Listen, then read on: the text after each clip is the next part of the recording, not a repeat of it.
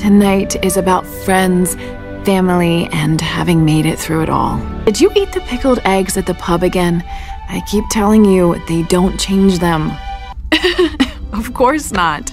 And don't scare the kids before bedtime with your stories.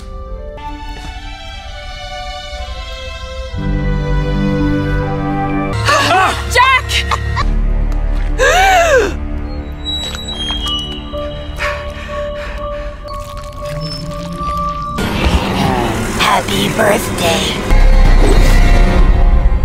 Most people use a match.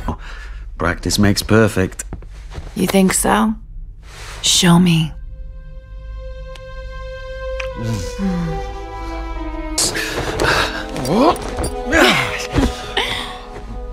what are you talking about? We don't have kids.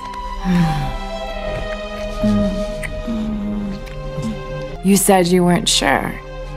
Have you changed your mind? Well, then, this night is going to be extra special.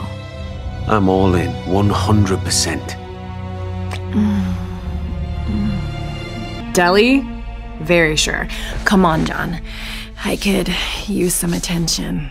Why can't your mind be still? Come back to bed, John. And where do you think you're going? Seven loved ones.